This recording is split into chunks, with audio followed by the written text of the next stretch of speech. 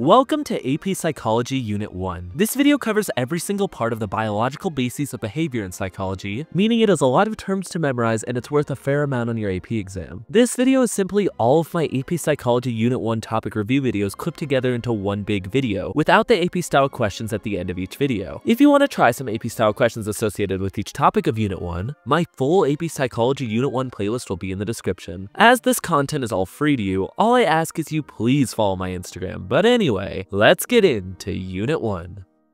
So let's start with a basic definition of psychology. The study of the mind and behavior. Essentially, psychology tries to answer one question. What causes our brain to act a certain way? If you were wondering, there's infinite answers to this question, and a lot of answers that haven't even been found out yet. Essentially, the answer to this question boils down to two things, nature versus nurture. Nature refers to the genetic and biological traits you are born with, things like DNA, brain chemistry, and inherited tendencies that influence one's physical, behavioral, and mental traits and processes. Nurture, or environmental factors, refers to all the external factors that one experiences throughout life, such as their education, culture, or their family. So the question here is which one of these has a bigger bigger effect on someone's personality, behavior, or mental state? The answer is I don't know. There are many different approaches to psychology that all have their own answer to this question. For example, if we look at the evolutionary perspective championed by Charles Darwin, it explores natural selection's effect on someone's behavior or mental processes. Of course, natural selection is the evolutionary principle that animals and organisms that are more adapted to their environment are more likely to survive and pass on the genes that aided their successes to future generations. The issue here is when you start applying natural selection to society and it turns from Darwinism to social Darwinism. This is where it becomes easy to discriminate against others that have more quote-unquote less favorable characteristics. Eugenics is a prime example of this. This is an ideology that's primary purpose is to only make the people that have the most quote-unquote desirable characteristics have sex so that their kids would have the most desirable characteristics and improve the human race. And in case you're wondering, this was used as a justification in World War II by the Nazis to discriminate against Jews, and in the future, eugenics as a whole was discredited as unscientific. So we just saw an example of how an approach of psychology views nature versus nurture. But before I go, I have to credit probably the best studies on the nature side of things. That of course is twin studies, such as the Minnesota twin study, that found that identical twins that are raised in two separate environments still show significant similarities in personality and intelligence. This supports the role of genetic influences on behavioral and mental processes. This question is one that has many answers. Hopefully by the end of this course, you will have your own answers for it. However, for now, alright, we have a nice and easy one today, the nervous system. If you're wondering what the nervous system is, its primary purpose is to receive messages, which could be anything as simple as what your hands touch or your blood pressure. Then it figures out what the message means through interpretation and sends out the right instructions to anywhere in the body like organs or muscles, all with the primary purpose of keeping your body balanced or in homeostasis. So here's where we introduce the two parts of the nervous system, the central and the peripheral nervous system. Your central nervous system will easily be the most important in this course. It houses the brain and the spinal cord.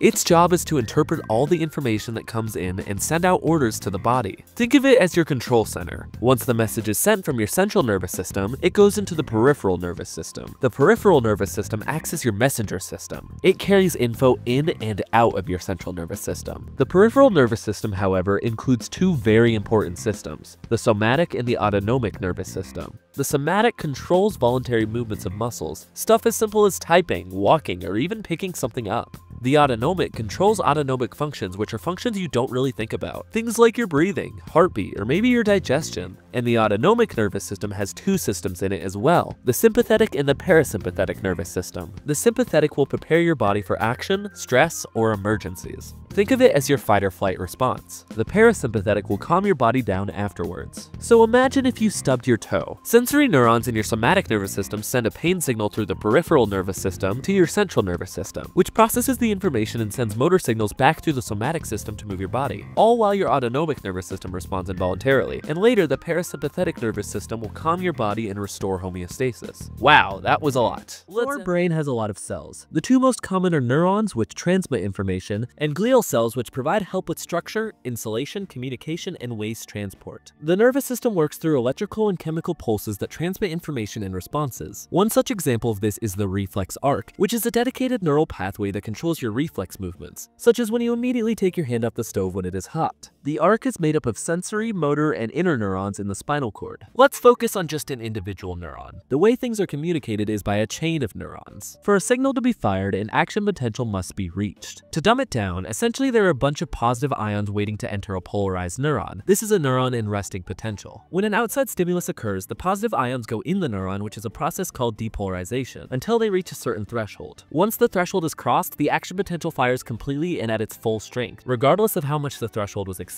This causes a short time where another action potential can't happen known as the refractory period. When an action potential is fired, it creates a signal going down into a chain of neurons. Here's what one neuron looks like. Dendrites receive signals from previous neurons. The soma houses the nucleus of the cell. Then the signal goes into the axon, which is insulated by myelin sheath, with the gaps in between the sheath called nodes of Ranvier, where it gets transported into the axon terminal to get sent out into the synaptic cleft, and caught by the dendrites of another neuron and goes on and on until it reaches where it needs to be. You might be wondering what the signal does. Simply put, it releases a neurotransmitter. Different neurotransmitters are sent based on the situation. Let's go through them as quickly as we can. Dopamine is for when there's a reward, motivation, or movement needed. Serotonin regulates mood, sleep, and appetite. Norepinephrine increases alertness and arousal. Glutamate is the main excitatory neurotransmitter. It's important for learning and memory. GABA is the main inhibitory neurotransmitter, calming neural activity. Acetylcholine enables muscle movement and memory. Endorphins reduce pain and boost pleasure. And finally, substance P carries pain messages to the brain. Hormones are similar to neurotransmitters, except they travel through the bloodstream, so they're slower and longer lasting. Let's go through some. Adrenaline, or epinephrine, triggers fight or flight by increasing heart rate and energy. Leptin signals satiety and reduces appetite. Ghrelin stimulates hunger. Melatonin regulates sleep-wake cycles, and oxytocin promotes bonding, trust, and social connection. Alright, next. When you introduce something like drugs, it muddies up the entire process of a neuron. Some drugs act as agonists, which mimic or boost neurotransmitters, which encourages neural firing. Some act as antagonists, which block receptor sites and therefore discourages firing. And some act as reuptake inhibitors, which block reabsorption of neurotransmitters, leaving more neurotransmitters in the synaptic cleft. Drugs come in four forms. Stimulants like caffeine, nicotine, and cocaine cause increased neural activity. Depressants like alcohol and barbiturates decrease neural activity. Hallucinogens like marijuana and LSD distort perception and cognition. And opioids such as heroin or morphine offer pain relief and a euphoric feeling. And done. Alright, this video covers the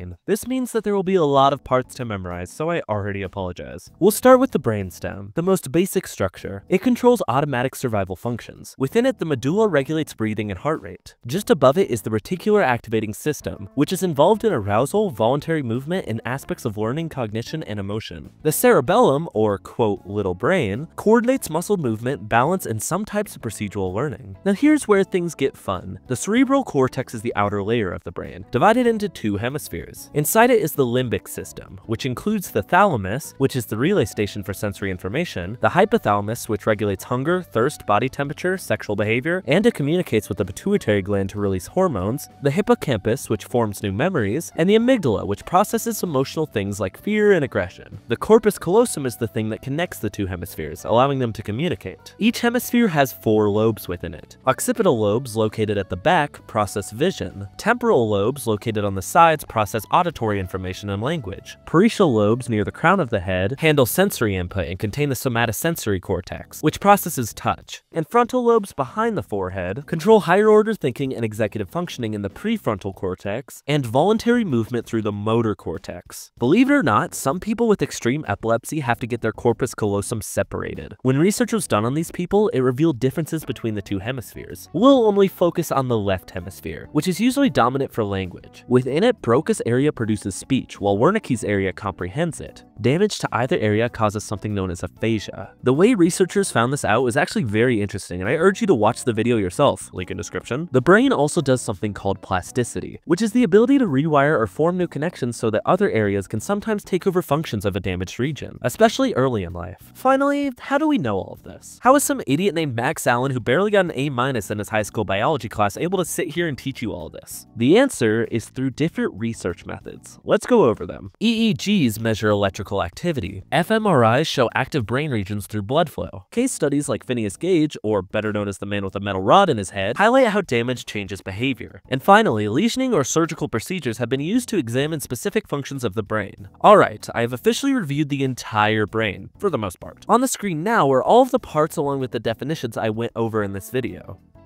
Today we're covering sleep. Every night when you decide to sleep, there's a process and reason for it. First, we need to define consciousness. This simply refers to your awareness of thoughts, feelings, behaviors, and what's going on around you. There are two basic states of consciousness, wakefulness and sleep. The sleep-wake cycle is called a circadian rhythm, which is a biological cycle that repeats roughly every 24 hours and some call a biological clock. Things like jet lag or shift work can throw off this rhythm, leading to fatigue, poor performance, and changes in mood. Now let's move into the stages of sleep, which are identified by brain wave patterns measured on an EEG. A full night of sleep typically has about 4 to 6 full 90-minute cycles. A single sleep cycle is broken into stages and repeats throughout the night. Let's go through one 90-minute cycle. Non-REM 1 is light sleep, where you may experience hypnagogic sensations such as feeling like you're falling. This stage lasts around 5 to 10 minutes. Non-REM 2 is deeper and characterized by sleep spindles on an EEG. This stage lasts about 10 to 25 minutes. Non-REM 3 is the deepest stage, sometimes called slow wave sleep. As the night progresses, non-REM 3 gets shorter and less frequent, ranging from about 20 to 40 minutes. Then you go back to non-REM 2 for a couple of minutes. And finally, REM, or rapid eye movement, is different. It's called paradoxical sleep because the EEG shows brain activity similar to wakefulness, but your body is extremely relaxed and essentially paralyzed. Most dreaming occurs in REM sleep. The amount of REM sleep sleep increases across the night. If you're deprived of REM, your body enters REM rebound, spending extra time in REM the next time you sleep. This sleep cycle lasts a varied amount of time, but will fall within the range of 10 to 60 minutes. After one full cycle is completed, it will simply repeat over and over again until you wake up in the morning. So here's the big question. Why do we even sleep? No one truly knows the answer to this question, but here are a couple of theories. The activation synthesis theory of dreaming suggests dreams are the brain's attempt to make sense of random neural activity. The consolidation theory says dreaming is tied to organization and storing memories. More broadly, sleep itself may help with memory consolidation and restoration of energy and resources used during the day. Next, let's cover sleep disorders, which can seriously affect daily functioning. Insomnia is a disorder where you have difficulty falling or staying asleep. Narcolepsy is a crazy disorder where out of nowhere you will suddenly fall asleep with no warning. Sleep apnea is when there's interrupted breathing during sleep. REM sleep behavior disorder is when you act out dreams because the normal paralysis of REM doesn't occur. And somnambulism is sleepwalking, which usually happens in non-REM stage 3 of sleep. Treatments often include sleep hygiene and consistent schedules to improve waking behavior and overall well-being. Sensation is the process of detecting information from the environment that meets a certain threshold and converting it into neural signals for the brain to process as perception. The absolute threshold is the point where a stimulus can be detected at least 50% of the time. Sensation also involves detecting changes. The just noticeable difference is the minimum change needed to notice a difference, and Weber's law states that this change must be proportional to the original stimulus. Sensory adaptation happens when we become less sensitive to constant, unchanging stimuli. Sensory systems also interact, known as sensory interaction, and sometimes mix in unusual ways, like synesthesia, where one sense is experienced through another. Let's start with vision. The retina is the photosensitive surface at the back of the eye, where light is converted into neural messages. The blind spot occurs when the optic nerve exits, but the brain fills in the missing information. The lens focuses light through accommodation, and errors here cause nearsightedness or farsightedness. The retina contains two types of photoreceptors, rods, which are in the periphery and detect shapes, movement, and low light, and cones located in the fovea, which detect color and detail. Cones are sensitive to short, medium, and long wavelengths. The trichromatic theory explains color detection through these cones, while the opponent process theory explains after images and color vision through paired processes, such as red-green, blue-yellow, or black-white. Color vision deficiency happens when cones or opponent cells are damaged such as in dichromatism or monochromatism. Brain damage can also disrupt vision. Prosopagnosia is face blindness. And blindsight is the ability to respond to visual stimuli without consciously perceiving them. Next, we move on to hearing. Sound is created by vibrations of air molecules, measured as wavelength for pitch and amplitude for loudness. Theories of pitch include place theory, frequency theory, and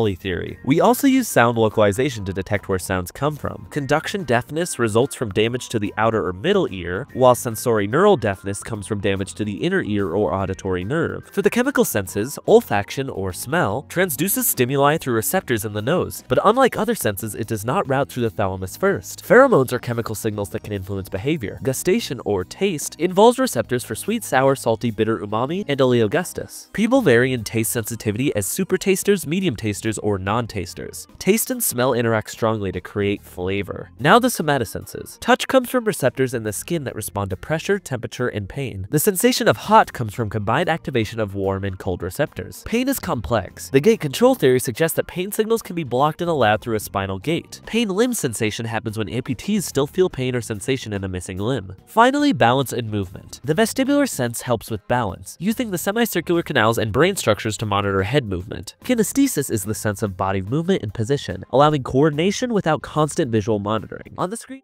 Thank you so much for watching. If it's not too much trouble, why not watch this video and subscribe to this channel? It's my non-educational channel and it's going to have some incredible stuff on it in the future, so I'd really appreciate it if you'd subscribe to it. Thank you!